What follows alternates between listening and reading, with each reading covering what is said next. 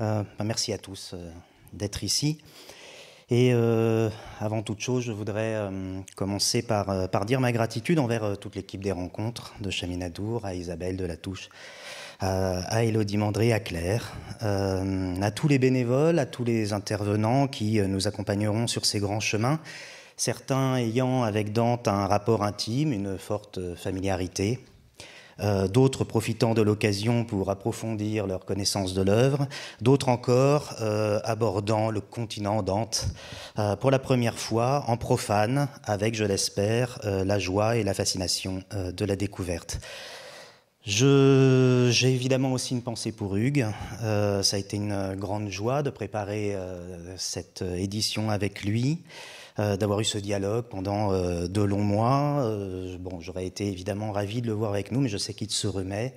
on pense fort à lui et on espère le voir au cours de ces journées. Je n'oublie pas non plus Pierre Michon, d'autant moins qu'il est grandement responsable de ce qui va arriver maintenant. quand Hugues m'a appelé pour me demander à quelle figure tutélaire nous pourrions consacrer cette édition, j'étais justement en Italie. Euh, je revenais précisément d'Anagni, où j'étais allé voir la crypte de San Magno, cette chose-là, et ça, dans laquelle se trouve un cycle de fresques illustrant l'Apocalypse daté du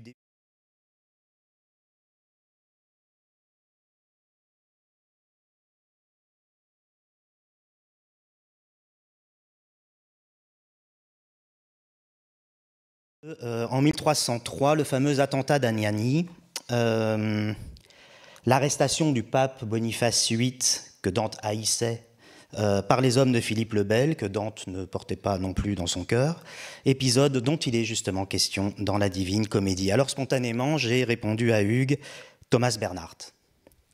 Il m'a rappelé quelques heures plus tard pour me dire C'est très bien, Thomas Bernhardt, mais Pierre trouve que tu n'es pas assez méchant. J'aurais pu me forcer. Ce qu'on veut, c'est Dante.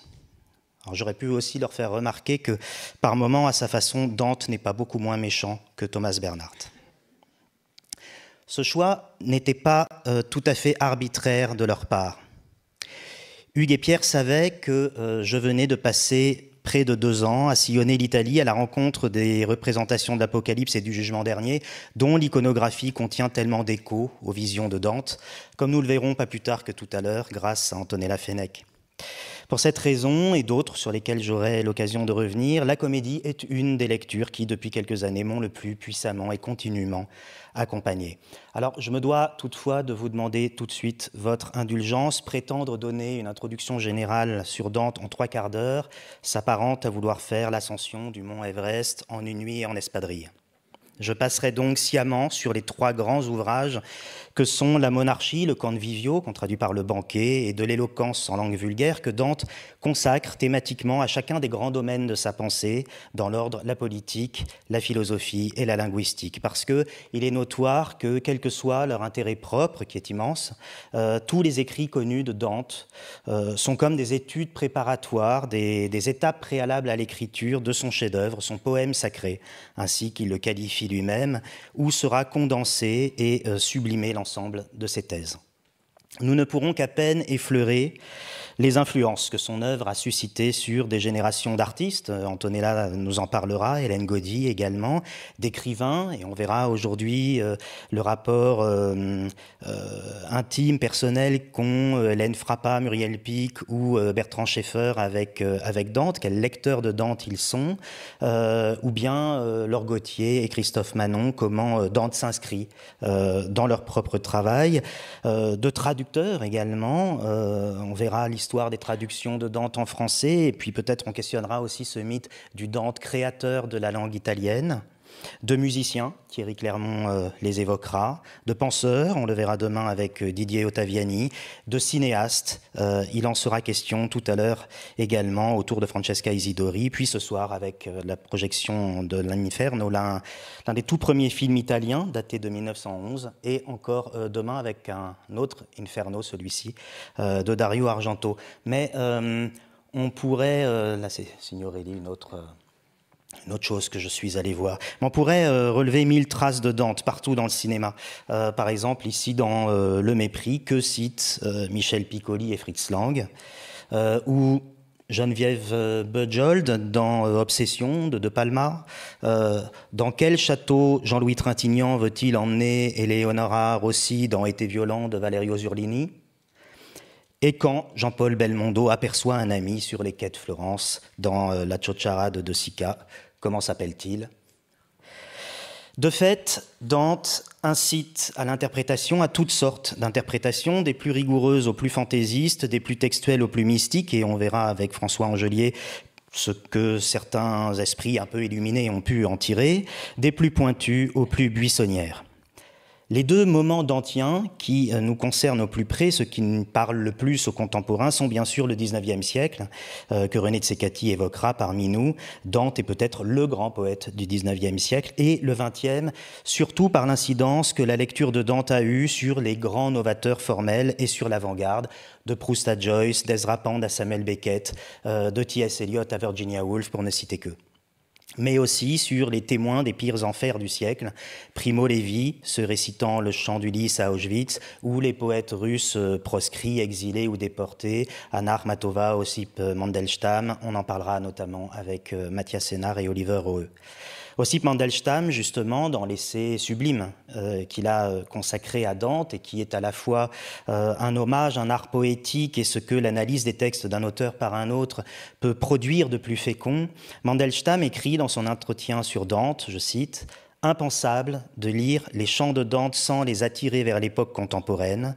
C'est dans cette intention qu'ils ont été écrits, ils sont des appareils à capter l'avenir, ils appellent un commentaire au futur. Sept siècles nous séparent euh, de la mort de Dante à deux ans près. Euh, nous sommes dans ce futur. Nous essaierons euh, d'évoquer ce qu'il nous invite à capter de notre présent, de notre propre expérience de la littérature et peut-être de notre propre avenir. Nous ne savons pas grand-chose sur le dénommé Dante Alighieri. Il fut poète, et cela lui valut la notoriété universelle. Il fut mari et père. Il fut l'amant imaginaire d'une jeune femme morte. Il écrivit de la poésie courtoise et plus discrètement de la poésie grivoise. Il fut un important édile de sa cité. Il y a été inscrit à la corporation des médecins et des apothicaires, art qu'il n'exerça jamais. Il se rendit sur des champs de bataille toscans, ferrailla contre des pisans, des arétins. Il fut exilé, puis condamné à mort, c'est-à-dire à ne pas pouvoir rentrer de son exil. Il erra de cour en cour à travers l'Italie. Il rencontra un pape à Rome. On prétend qu'il vint à Paris. Il conseilla des grands seigneurs. Il espéra un empereur qui ne vint pas. Il écrivit le plus célèbre poème de son temps et peut-être de tous les temps. Il avouait sa ville aux gémonies et aux regrets. On le soupçonne d'avoir vu l'arsenal de Venise du temps où celui-ci était le plus grand chantier naval du monde. Il mourut au bord de la mer. Pourtant, de l'homme qui fut ce poète, cette sommité politique et ce voyageur malgré lui, peu de traces sont parvenues jusqu'à nous. Aucun manuscrit de sa main, pas de papier ni de registre où son nom se trouve mentionné, hormis celui qui consigne sa condamnation à mort au bûcher. Le feu ne l'a pas pris, ou alors un autre feu.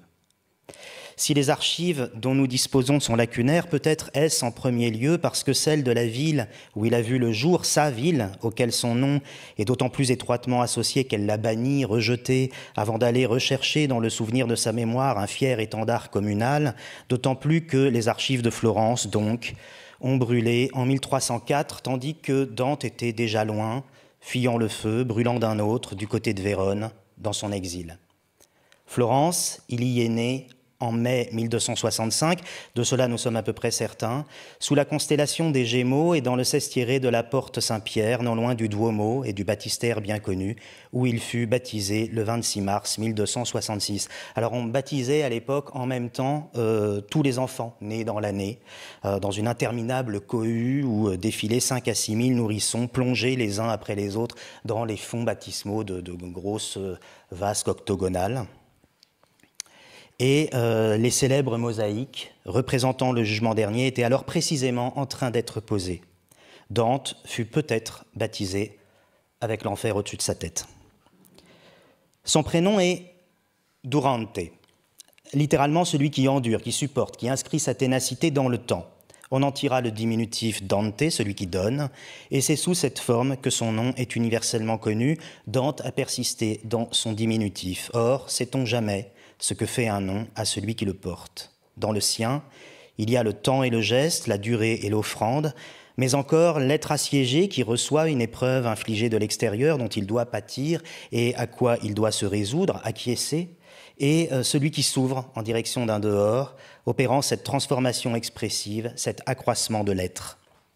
Si la lecture de Dante peut facilement nous incliner à considérer le monde comme un dense réseau de signes euh, susceptibles d'interprétations multiples, alors peut-on jouer à penser que Dante fut baptisé à la fois, sous la voûte du jugement dernier, entre fin des temps, présence sensible du temps et injonction au monde?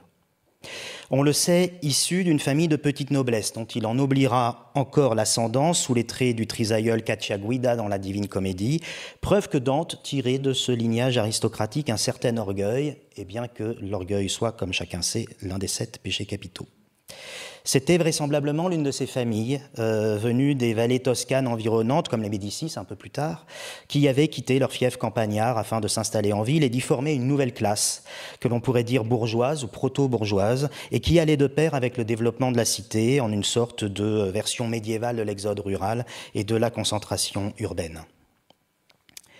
Quelques années plus tôt, en 1252, on avait créé le florin d'or, cette monnaie sur laquelle la cité-État avait fait frapper ses armes, son lys emblématique et son saint patron Jean-Baptiste, et qui était rapidement devenue la première vraie monnaie internationale circulant sur le continent européen. Les Florentins, dit-on, s'étaient alors apposés en banquiers de l'Europe. Pour le dire autrement, ils étaient à l'avant-garde euh, de cette étrange chose naissante et qui était appelée à connaître une certaine et relativement durable fortune historique, le capitalisme. Plus encore, ils étaient les pionniers de cette variante particulière du capitalisme qu'est le système financier. L'argent était un grand sujet et nous en trouvons suffisamment les échos chez Dante. C'est aussi un temps où, à l'intérieur euh, de la ville, règne, et cela n'est pas sans rapport, une division furieuse qui donne lieu à des affrontements violents et à tout un jeu d'incessantes bascules politiques, polarisés autour de deux clans, les fameux Guelfes et Gibelins, ces deux noms dérivent de l'onomastique des dynasties impériales allemandes. Gibelin vient du château de Weiblingen, propriété des Hohenstaufen, la famille de Frédéric Barberousse, et surtout de son petit-fils Frédéric II, la stupeur du monde, euh, roi de Sicile et empereur du Saint-Empire romain germanique, une des personnalités les plus euh, illustres, brillantes et influentes euh, du Moyen Âge européen, morte 15 ans seulement avant la naissance de Dante et qui apparaîtra dans la Divine Comédie. Guelph vient de la maison de Welf, c'est-à-dire des ducs de Bavière. Ces derniers bénéficient de l'appui du pape lequel cherche à limiter l'emprise euh, de l'empereur et à étendre ses propres possessions territoriales, les États pontificaux, qui ont acquis leur indépendance vis-à-vis de l'Empire en 1177. En résumé, euh, on est guelfe quand on est du parti du pape, gibelin euh, lorsqu'on est de celui de l'empereur. Il est bien sûr question dans cet antagonisme de rivalité politique et économique qui infuse dans la réalité ponctuelle des intérêts locaux, les guerres indestines à Florence surgissent avant tout entre divers groupes de familles qui se disputent l'hégémonie commerciale et le gouvernement de la ville. Mais la papauté et l'empire ne sont pas seulement deux forces séculaires qui s'affrontent, ce sont avant tout deux modalités d'exercice du pouvoir, deux modèles de légitimité. L'empereur est un souverain temporel qui tire sa légitimité de droit divin, il a donc besoin du pape euh, pour garantir ce haut patronage. Le pape est lui, bien sûr, euh, souverain spirituel, héritier du trône de Saint-Pierre, dont le prestige symbolique se traduit par des possessions euh, terriennes et terrestres qui sont comme les extensions séculaires, sonnantes et trébuchantes, rabattues et conquises sur le territoire de son pouvoir religieux. Il y a donc une double interférence qui explique les conflits contre lesquels pardon, euh, prémunirait une claire et stricte différenciation. Dante euh, ici peint par Giotto, euh, conditionne sa vision politique du monde à cette répartition. Il en fera le moteur de ses engagements idéologiques et le socle de sa propre réflexion en la matière quand il terrorisera dans sa monarchie, mais aussi bien dans la Divine Comédie, ce que nous appellerions, nous, la séparation des pouvoirs, la distinction, selon ses termes à lui, entre les deux Roms, celle de l'Empire et celle du pape qui, pour lui, se doivent de coexister, de cohabiter dans le même centre géographique, Rome, sans se confondre. Le pape régnerait alors sur le domaine spirituel, et l'empereur sur le temporel dans un équilibre et un respect réciproque qui ne devrait souffrir aucune confusion des genres, n'en déplaît surtout au pape simoniaque, à leur désir d'expansion et euh, d'accumulation des richesses. Pourtant, à l'origine, euh, la famille de Dante était du parti guelfe, donc, pour le dire vite, papiste. Mais rien n'est jamais vraiment simple ni stable dans l'Italie communale, et après l'expulsion des Gibelins hors de Florence en 1267, à l'intérieur même de la faction guelfe naquit une nouvelle opposition qui se substitua à la précédente, mettant aux prises cette fois guelfes blancs et guelfes noirs. Les noirs étaient rassemblés autour des grands, comme on les appelait, les plus, puissantes familles de la ville, proches du pape, avec lequel elles entretenaient des échanges financiers et des relations d'intérêt économique. Ils étaient partisans de la plus grande expansion euh, possible de la mainmise papale. Les Blancs, en revanche, étaient euh, censés représenter un parti plus populaire, plus attaché en tout cas à l'indépendance primordiale de la cité, de ses affaires et de son fonctionnement à l'égard du pape. C'est ce camp, celui des Blancs, euh, auquel appartient Dante, et on le conçoit euh, aisément au regard de sa pensée politique et de son souci de marquer la distinction entre les différentes natures du pouvoir. Dans un tel contexte, la politique, c'est-à-dire euh, pas seulement la participation à la vie active de la cité et aux décisions qui l'organisent, mais plus profondément l'inscription fondamentale des vies individuelles, familiales, dans les destinées et les turpitudes d'une communauté, est consubstantielle à l'expérience citadine de Dante. Dante n'est pas un poète engagé, euh, comme on le dit bah, parfois en bravant l'anachronisme, c'est tout bonnement un notable florentin de plein pied dans l'histoire âpre, disputée, dont sa cité est le creuset, et où prévaut une centralité de la passion politique, pour reprendre un mot de Jacqueline Risset. Il n'y a pas chez Dante euh, de dissociation entre l'activité d'écriture et l'action politique, entre l'intervention et l'invention, entre euh, le souci du rythme de la langue créatrice et celui de l'éloquence publique de la langue commune, vulgaire, pour reprendre son terme. Cette continuité entre politique et poésie, Dante, le futur exilé, euh, la vivra de manière particulièrement intense et cruelle. On sait aussi que Dante avait 9 ans lorsque se produisit l'un des événements les plus décisifs de sa vie, qui est sa rencontre bien sûr avec euh, Bice Portinari, la Béatrice de toute son œuvre. L'histoire est plus que connue, Boccace raconte qu'elle eut lieu chez le banquier euh, florentin Folco Portinari un 1er mai pour une fête de printemps à laquelle Dante avait accompagné son père.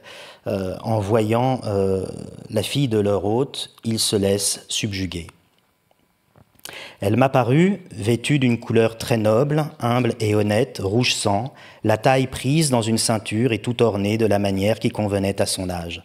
Je dis ici, en vérité, que l'esprit de la vie, qui demeure dans la chambre très secrète du cœur, commença à trembler si fortement que j'en ressentais les moindres pulsations avec une horrible vigueur.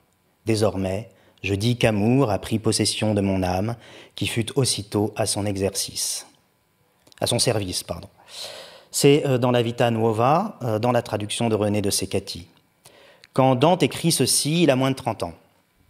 C'est son premier livre, euh, consécutif à la disparition de Béatrice, qui meurt à 24 ans en 1290. Dante y adopte une forme étrange, euh, composé de récits, de poèmes et d'explications de ces poèmes comme un mode d'emploi, des embryons d'exégèse qui sont tendus au, lecteur. Et avec lui s'ouvre la vie nouvelle, la vie poétique que Dante embrasse, vouée à l'amour en tant que mobile essentiel sous l'étoile fixe de Béatrice. Poète de la jeune garde montante, euh, celle du Dolce Stil Nuovo, Dante n'en endosse pas moins, à partir de 1295, un nombre croissant de responsabilités publiques jusqu'à devenir, euh, à l'été 1300, prieur, autrement dit titulaire de la plus haute euh, magistrature communale. Cette même année a eu lieu euh, le jubilé décidé par le pape Boniface VIII, appelant les fidèles à un pèlerinage à Rome. Euh, où leur sera accordée la rémission de leur péché, euh, la rémission de peine, pardon, en vue euh, de l'accession à l'au-delà, entreprise évidemment très lucrative pour les caisses de la papauté, et à laquelle on peut considérer la Divine Comédie comme une virulente réponse, une sorte d'anti-jubilé. Cet été-là, des rixes éclatent sur les places publiques de Florence, les guelfes noirs alliés au pape écrasent vite les blancs inorganisés. On n'était pas prieur longtemps à Florence, ça durait deux mois. Lorsque Dante finit son mandat, son parti est vaincu, il a 35 ans. Et selon une conception en vigueur euh, à l'époque, tirée des Écritures, qui voulait que la durée d'une vie soit de 70 ans, il se trouve donc au, milieu du chemin de notre vie. Quelques mois plus tard, en janvier 1302, il sera exilé, et c'est en exil, désormais, qu'il vivra le reste de son âge et écrira. C'est une photo que j'avais envoyée à Hugues. Euh, au milieu du chemin de notre vie, c'est, comme chacun le sait, euh, le premier vers de la Divine Comédie. Et de fait, Dante situe précisément en 1300 cette année charnière dans sa trajectoire euh, biographique, dont j'ai essayé d'ébaucher quelques grands traits, l'histoire que nous conte le poème, celle de son fameux voyage à travers les trois royaumes de l'au-delà, l'enfer, le purgatoire et le paradis. Au milieu du chemin de notre vie, je me retrouvais par une forêt obscure, car la voie droite était perdue. Dès ce premier tercet, deux chemins différents se présentent à nous dans la même image. Celui que suit le cours de notre existence, le chemin commun de notre âge, Camin di nostra vita, et celui perdu qui a occasionné d'infinies interprétations de lecture.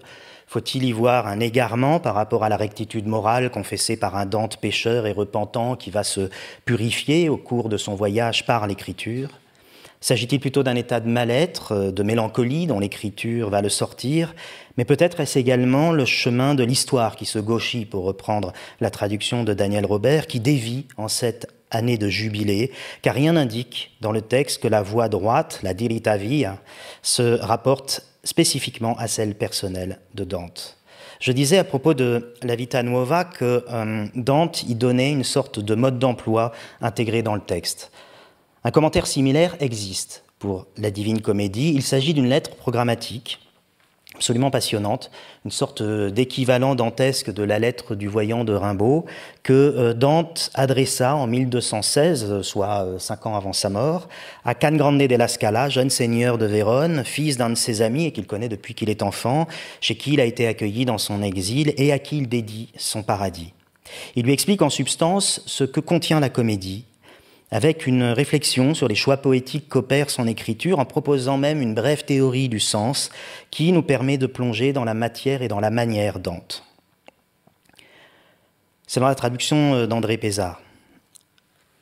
Le sens de cet ouvrage, je cite hein, bien sûr, le sens de cet ouvrage n'est point simple, et l'on peut le dire au contraire polysème, c'est-à-dire doué de plusieurs signifiances, car autre est le sens fourni par la lettre et autre est le sens qu'on tire des choses signifiées par la lettre. Et le premier est dit littéral, mais le second, allégorique ou moral ou anagogique.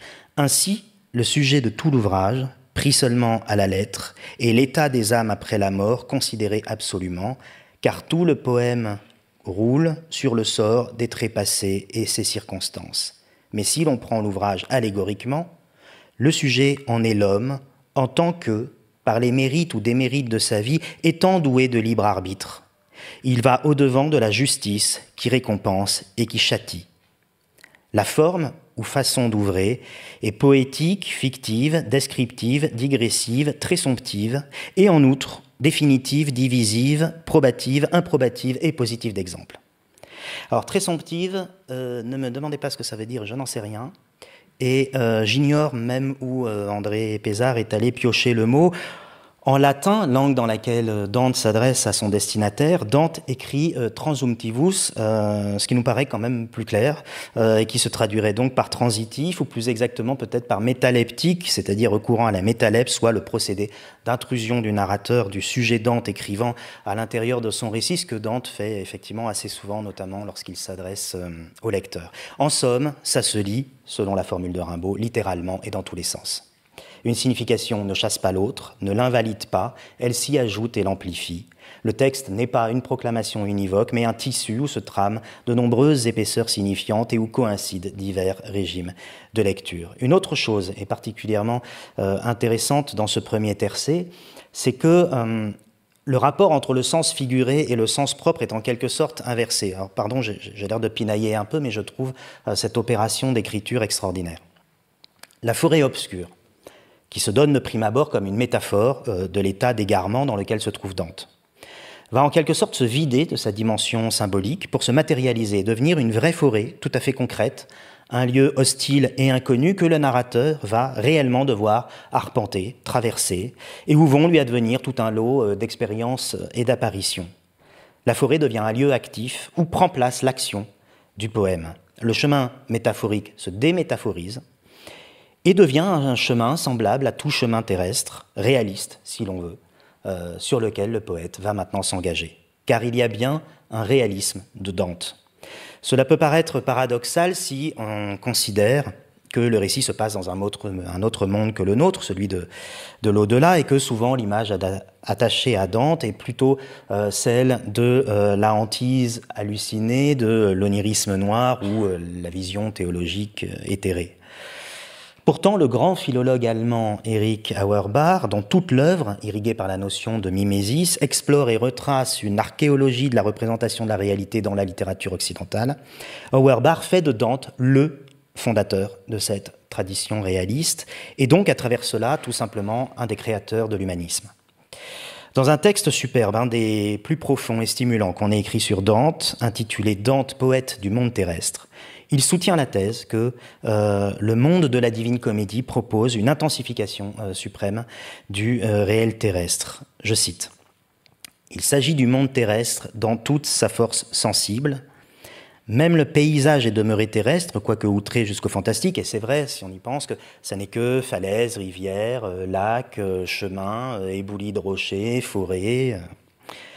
Les hommes surtout, ils n'ont rien perdu de leur individualité terrestre, tout ce qui fait leur singularité est renforcé jusqu'au surnaturel, et c'est à leur singularité qu'ils doivent la damnation, la pénitence ou la béatitude. Ce que je continue la citation. Ce que l'Antiquité européenne avait fait d'une manière tout autre, et que le Moyen Âge n'avait jamais fait, représenter l'homme, non pas sous la lointaine figure de la légende, ni selon la formulation abstraite ou anecdotique du type moral, mais l'homme familier, vivant, historique, l'individu donné dans son unité et son intégralité, bref, fournir une imitation de sa nature historique, cela, Dante a été le premier à le faire, et il a été suivi dans cette voie par tous ceux qui, après lui, ont représenté l'homme. Mais restons encore un tout petit peu dans ce premier champ.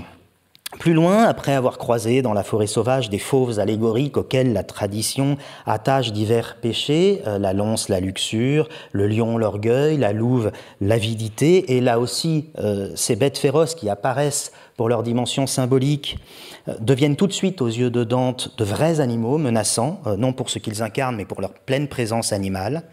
Dante rencontre celui qui sera son guide et son compagnon en enfer puis au purgatoire, Virgile. Mais au fait, pourquoi Virgile? Pourquoi Dante a-t-il choisi ce guide, cet intercesseur dans les royaumes obscurs, plutôt par exemple qu'Aristote, celui qu'il appelle le philosophe, et à qui il avait, euh, dans un premier temps, envisagé de donner dans la comédie la place qu'il a finalement confiée à Virgile?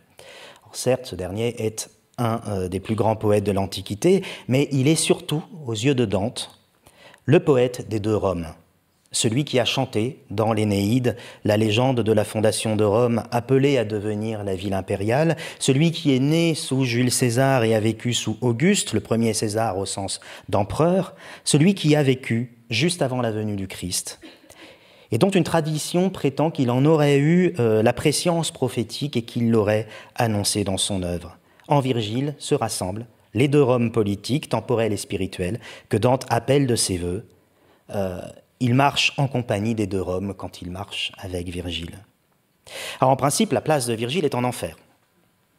Mais au premier cercle, dans un cercle serein, euh, si on peut dire, euh, celui des limbes, qui ne punit pas ses hôtes pour leurs péchés, mais qui les prive du paradis, du fait d'avoir vécu trop tôt sur terre, avant la césure historique qu'a été la venue du Christ. Les justes anciens, tels Virgile, n'ont eu qu'un tort, se trouver du mauvais côté de cette coupure, ce qui pourrait nous sembler injuste si nous oublions l'idée que l'idée même de euh, justice n'existe euh, dans la représentation dantesque que sous euh, l'unique hospice du Christ. Je trouve cette image bouleversante, d'une grande mélancolie et d'une extrême complexité dans le rapport qu'elle suppose entre l'éternité et l'histoire. L'ordre de l'au-delà, qu'on imagine comme la chose la plus immuable qui soit, est en réalité en communication étroite et permanente avec la vie historique terrestre.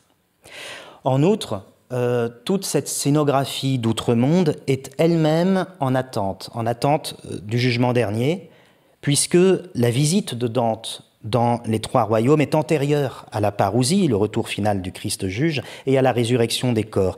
Et euh, il y a tout un jeu de regard permanent sur le fait que Dante soit le seul corps vivant et charnel parmi les ombres privées de leur enveloppe corporelle et surprise de le voir parmi elles. On reviendra sur ce thème de la corporéité euh, tout à l'heure avec Antonella. Au demeurant, cet état historique, non, seulement n'est pas figé, mais euh, il tire sur sa fin.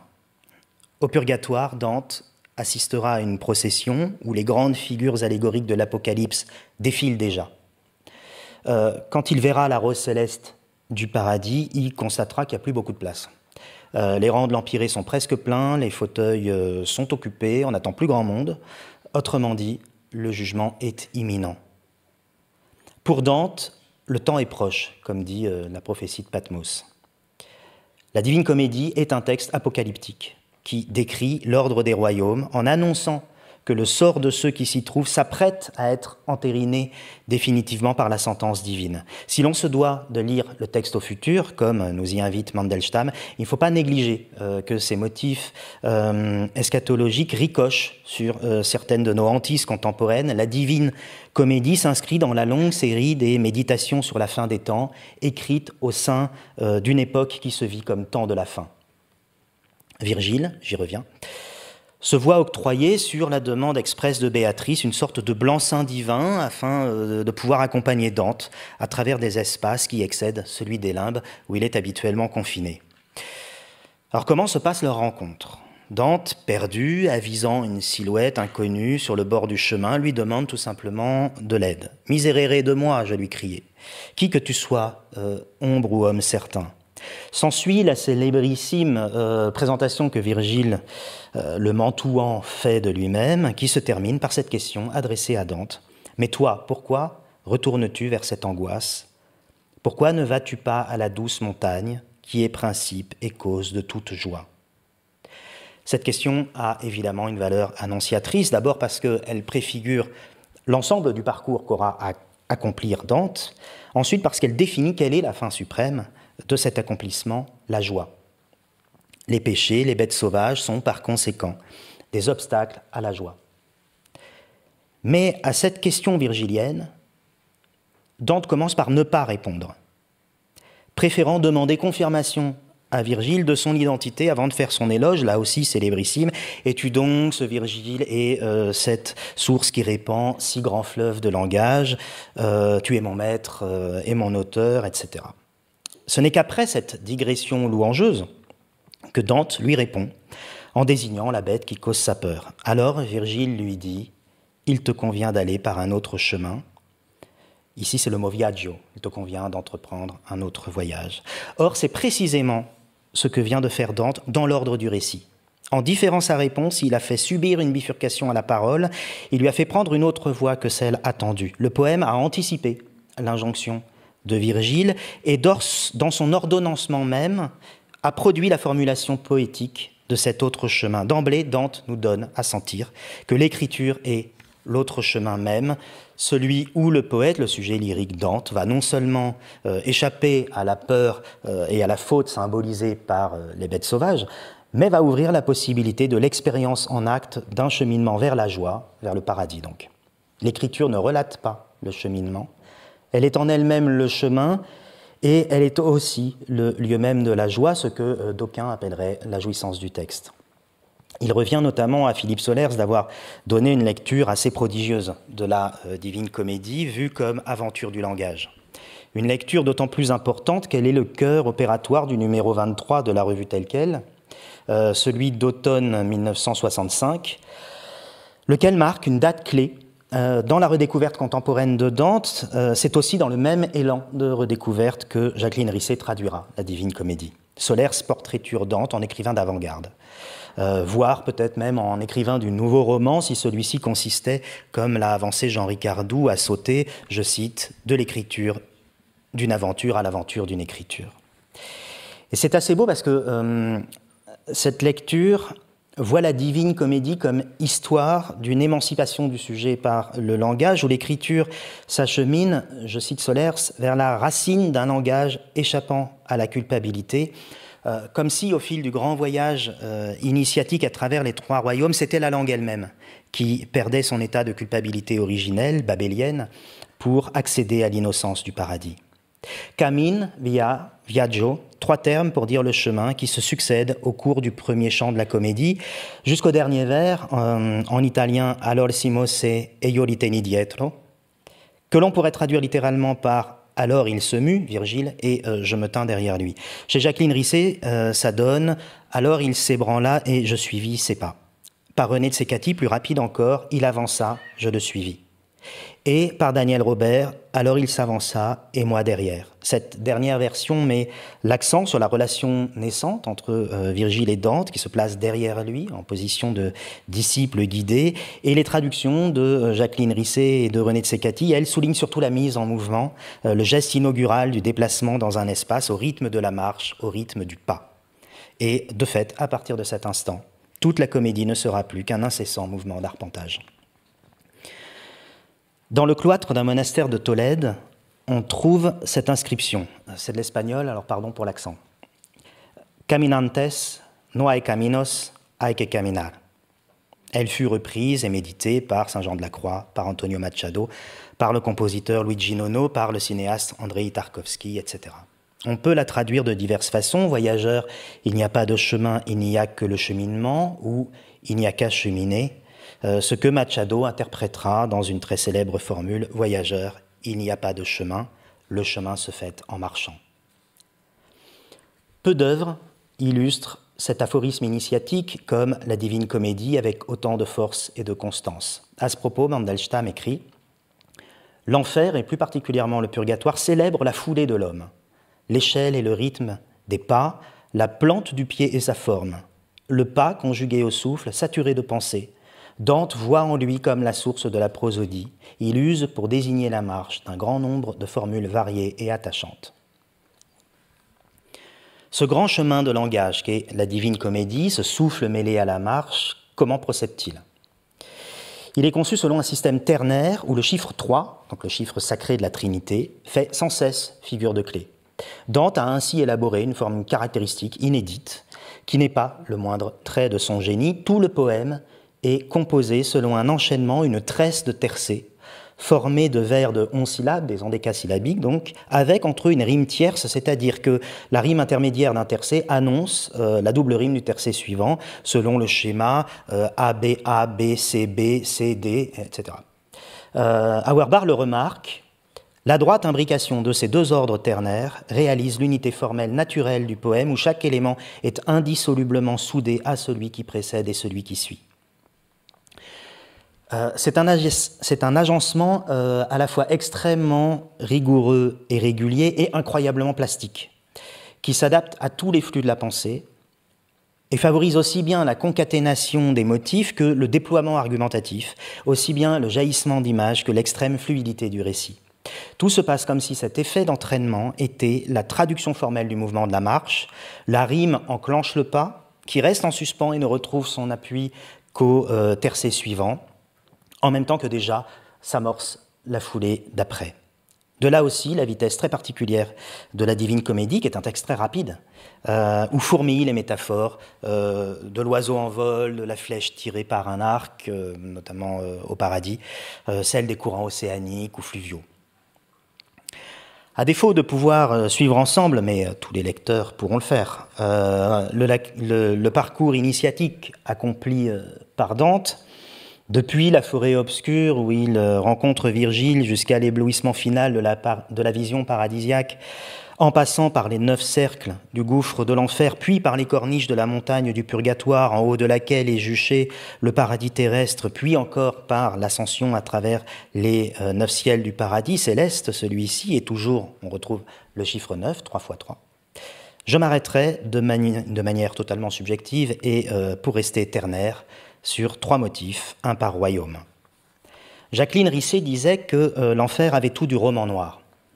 Alexandre Civico et Xavier Boissel fouilleront l'héritage dantesque du genre noir. Euh, le chant 28 de l'enfer est lui franchement gore. C'est un des plus euh, saisissants visuellement. Dante y rencontre Mahomet. Au XIIIe siècle, celui-ci n'est pas vu comme le prophète d'une religion rivale, mais comme un hérétique. Semeur de scandales et de schismes, dit Dante, c'est-à-dire qu'il attente à l'unité de la communauté religieuse. Or, les péchés les plus graves, pour Dante, sont ceux qui portent atteinte à l'ordre social, ceux qui créent une discorde dans la communauté. C'est pourquoi Mahomet représentait le torse fendu, déchiré du menton jusqu'au trou qui pète, écrit Dante, dans une image violente et crue où boyaux et excréments fuient et se déballonnent. Bertrand de Borne, célèbre troubadour périgourdin, le seigneur d'Hautefort, qui euh, apparaît un peu plus loin, a lui créé la dissension entre euh, un père et son fils. Il a brisé la communauté familiale et c'est pourquoi sa tête est dissociée de son corps. Il se promène en tenant son propre chef par les cheveux, à bout de bras comme une lanterne, en une vision qui euh, nous rappelle ces figures céphalophores, dont celle de Saint-Denis, le grand saint parisien, et bien sûr la plus célèbre. Fort de cette puissance visuelle, rare même dans la comédie, c'est à Bertrand de Borne, à la fin du chant, qu'il revient d'énoncer le grand principe organisateur des peines inventées par Dante, le contrapasso, la loi du talion, dont son propre sort, celui de Bertrand, et juste avant lui celui de Mahomet, ont donné deux exemples frappants. Cette loi qui veut que l'on soit puni par là où on en a péché et que la peine qu'encourent les damnés soit à l'image et à la mesure de leur faute. Demain, une discussion entre Sarah Chiche, Bertrand Schaeffer et Alain Nicolas reviendra sur la question euh, du péché et des figurations du mal. Au bout de leur voyage en enfer, Dante et Virgile trouvent Lucifer, l'ange déchu dont la culbute a creusé le cratère infernal et qui, de ses trois bouches, déchire et mastique les trois coupables du pire des crimes, aux yeux de Dante, la trahison, entend là aussi qu'elle offense la communauté. Judas, traître au Christ, Brutus et Cassius, traîtres à César, et ici encore, à l'apogée euh, du mal et de sa punition, dans les trois gueules diaboliques, sont associées et distinctes les deux Roms, la religieuse et l'impériale. Le purgatoire est sans doute euh, mon cantique préféré. Je suis heureux que nous y prêtions une attention particulière euh, demain, euh, grâce à une lecture d'extraits, euh, non, samedi d'ailleurs, pas demain, par Yann Caraquilo, Jean Pechnard et Nicole Welch, à quoi s'ajoutera un petit voyage à travers une sélection littéraire de purgatoire contemporain par Maïlis de Kerangal et Joyce Sormand.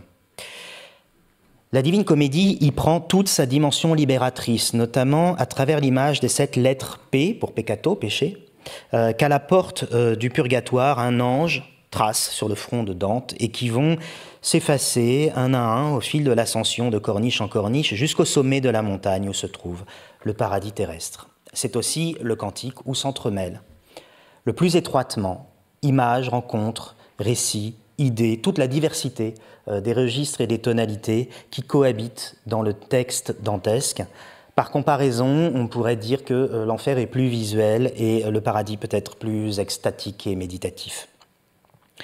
Surtout, euh, Dante est le premier, tout simplement, à représenter le purgatoire, qui reste alors une création doctrinale très récente. L'historien Jacques Le Goff a consacré un livre absolument passionnant à la naissance de ce troisième lieu intermédiaire, qu'il conclut précisément par le triomphe du purgatoire grâce au génie poétique de Dante, dit-il, qui, un peu plus de cent ans après son invention théologique, lui donne à jamais une place dans la mémoire des hommes.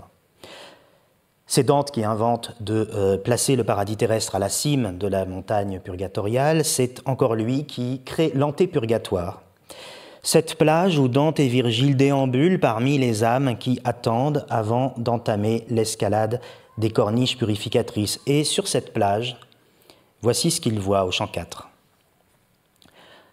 Des gens étaient là, qui se tenaient à l'ombre de ce roc, dans des postures nonchalantes. Et l'un d'entre eux, qui me semblait là, était assis, embrassant ses genoux et tenant entre eux son visage baissé. Mon doux Seigneur, dis-je, il s'adresse à Virgile, jette les yeux sur cet homme-ci, à l'air plus indolent que si paraît c'était sa sœur. Alors il se tourna vers nous et nous considéra en levant les yeux le long de sa cuisse, et dit Va donc là-haut, toi qui es si vaillant. Dante le reconnaît, sourit et lui dit quoi, je ne te plaindrai plus désormais. Mais dis-moi, pourquoi es-tu assis dans ce lieu? Et quoi, qui était un luthier florentin, lui répond Ô frère, montez là-haut, qu'importe. La position assise, l'attitude décrite dans un incroyable ralenti quand il lève les yeux le long de sa cuisse, le je m'en foutisme absolu de cet homme pour qui le salut ne vaut même pas la peine qu'il prendrait en grimpant à sa recherche, ce motif n'est pas sans nous évoquer quelque chose, c'est proprement un personnage beckettien. Cette apparition ne pouvait que frapper, émouvoir et pas mal amuser euh, Samuel Beckett. On sait que Beckett a lu Dante euh, sans discontinuer depuis euh, son plus jeune âge et ses études au Trinity College. Avec Belacqua, il illustre euh, une modalité très particulière d'influence littéraire, puisqu'il s'empare d'un personnage créé par Dante pour le transplanter, pour ainsi dire, tel quel, dans le Dublin contemporain de son roman Bande et Sarabande, le plus joycien peut-être de ses livres. Et on sait que Beckett avait Dante en partage avec Joyce. Beckett déplorait l'absence de compassion de Dante à l'égard de ses damnés, et on dirait qu'il cherche à contrebalancer euh, cette intransigeance dans un magnifique jeu d'appropriation et de réinterprétation en faveur du personnage de Belacqua, le paresseux auquel euh, sans doute il s'identifiait plus qu'à toute autre figure euh, de la comédie. Lorsqu'enfin Dante retrouve Béatrice au paradis, il commence par se faire engueuler.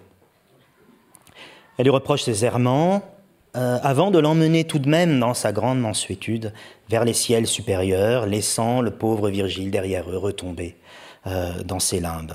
Yannick Enel reviendra sur l'expérience du paradis, Jérôme Ferrari sur sa description.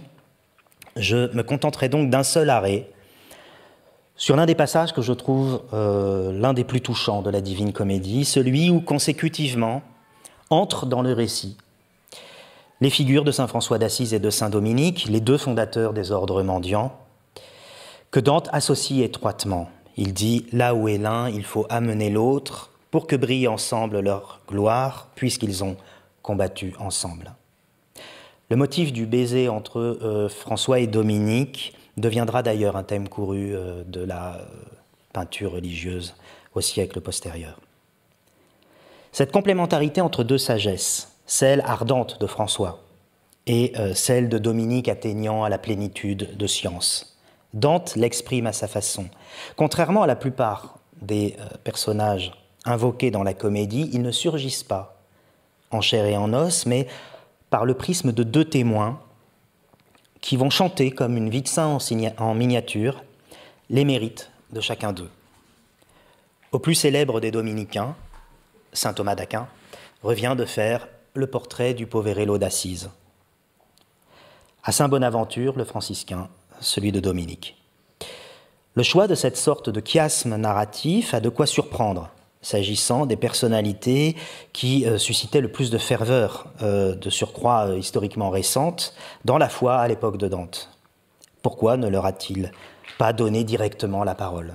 Pourquoi ne les voit-on pas dans leur habit, blanc pour Dominique, brun pour François? Peut-être parce que Dante a besoin d'un narrateur intermédiaire pour mieux les porter au pinacle qui leur est dû. Peut-être pour intégrer dans la comédie ce genre narratif qu'est la légende dorée, euh, le dominicain Jacques de Voragine euh, vient de consigner la sienne à peine plus de, 50 ans plus tôt. Eric Auerbach a émis une, une hypothèse dans un article qui s'appelle François d'Assise dans la comédie. Il dit il fallait que la personnalité concrète du saint soit subordonnée à sa fonction et ne fasse que briller à travers elle.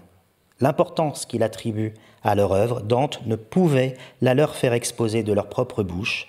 Il en charge donc Thomas et Bonaventure, les deux grands docteurs de l'Église, issus des ordres.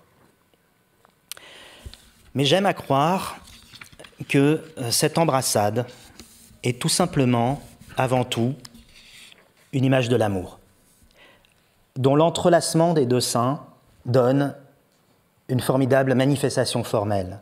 Faire raconter l'un par le disciple de l'autre revient à les unir dans le même amour. La Divine Comédie est un roman théologico-politique. disait euh, l'auteur de la nouvelle avant-garde italienne, euh, Eduardo Sanguinetti. Dante invente un dispositif poétique et fictionnel qui lui permet de rendre la justice à son gré et de soumettre au jugement la société de son temps, ses personnalités publiques et ecclésiastiques, les partisans des luttes politiques en cours, mais surtout de scénographier une vision des temps apocalyptiques dont son propre imaginaire est baigné. Cette vision n'est pas statique, elle se déploie physiquement, en avançant le long de l'autre chemin réclamé par Virgile, celui que le texte invente, en même temps qu'il le parcourt au rythme d'une prosodie marchée.